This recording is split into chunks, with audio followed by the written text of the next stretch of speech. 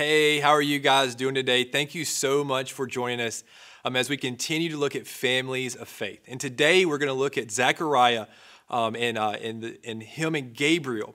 And so Zechariah is a priest and he's serving in the temple. And all of a sudden, the angel Gabriel appears to him and delivers him a message from God. This is an incredible story. Could you imagine just sitting there doing your job and all of a sudden an angel shows up? But he asks one question that I think we can all relate to, and that question is how.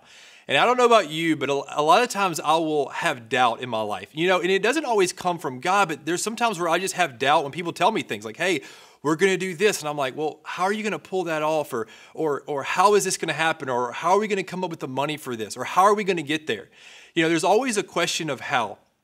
And I think that when it comes to relationship with God, sometimes we bring that question into play. God, how are you going to make this happen? I don't really see this. How is it going to work? And that's the thing that Zechariah asks is, God, how are you going to make this happen? And so we're going to pick up our story in Luke 1, and this is 18 through 20. Zechariah said to the angel, How can I be sure this will happen?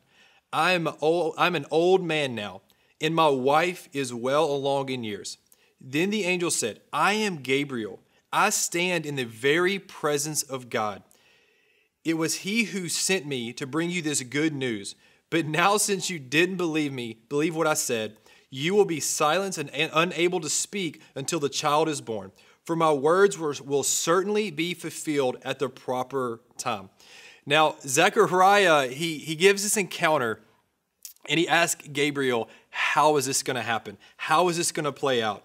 You know, I think it's a very honest thing that Zechariah has doubt because he's looking at it from the perspective of himself. And he's, what he's saying is, look, I'm, I'm older in age. My wife is barren. There's no way that we can make this happen. But what the problem was, Zechariah was looking at his own self. See, a lot of times when God gives us something, it's something that we could never do on our own. It is a mission, it is something so that's so much greater than what we could ever obtain. Because Zechariah, he didn't understand this was not going to come from him. This miracle was going to come from God. The second point I want us to look at is heard. Zechariah was heard by God. His, the, his initial reaction when Gabriel shows up is fear. You know, an, the angels, a lot of times we think of angels as kind of like, you know, they have these feathers and they have these wings. But when anytime you see an angel show up in the Bible, people are terrified. A lot of times it even says that they wanted to die because they're so afraid.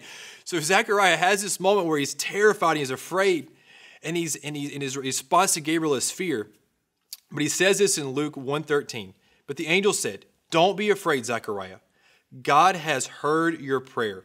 Your wife Elizabeth will give you a son, and you will name him John. You know, his initial reaction is fear, but what he says is, look, the reason that God is blessing you with this is because he has heard your prayers. And here's what I want to tell you today. You know, maybe you have some things that you're afraid of. Maybe you have some things that you've been going through. Listen, God wants to hear your prayer request. The reason that this blessing came to Zechariah was one, they were faithful to God, but two, is because they brought their request to God. God hears our prayers. And the third thing is this it will happen. It will happen. You know, I love that Zechariah comes and says, Look, here's all the reasons this is not going to happen. I'm older. My wife is barren. You know, maybe sometimes God tells you something or God brings something to you, and you're like, God, let me tell you why that won't work. But I love Gabriel's response. Look, Gabriel's saying, This is going to happen not because of you, but this is going to happen because God said it's going to happen. You know, at the end of the day, we need to remember that we serve a God that when He speaks, it happens. You know, you think about creation. God spoke the world into existence. It was from His words that brought life. So if God speaks something, and I love what it says at the end of the, our verse, it says, that at the proper time my words will be fulfilled. If God says it, then it is going to happen. And for us, it's we cannot have doubt. You know, you see what happens with Zechariah. He ends up doubting God. Now, God still fulfills his word, but he silences Zechariah. And I think we could take a lesson from that. You know, sometimes we need to silence the doubt. You know, God was saying, Zechariah, I know you don't believe this is going to happen, but I'm going to silence you so you cannot speak doubt over this anymore. You know, one of the things that I, I have to challenge myself with is that whenever I do have doubt, to not continuously vocalize it. Because what will happen is that doubt will become a mindset. And we have to turn our doubt into faith. We have to have a mindset that says, okay, if God spoke it, I'm going to believe for it. Even if I don't see how, I'm going to believe that He can. So I have a couple application points for us today.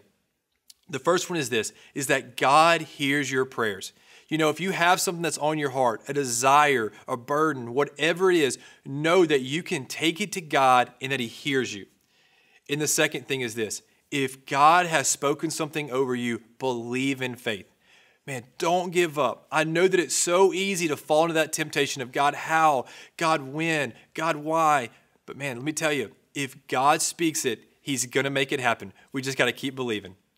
God, thank you so much. I pray that for everyone who's listening to this, Lord, that you would be with us, Lord, that we could be comforted that we have a God that hears us, that we have a God who is working on our behalf and a God that is moving. Lord, we just want to trust that if you speak something over our lives, that God, you will do it, God.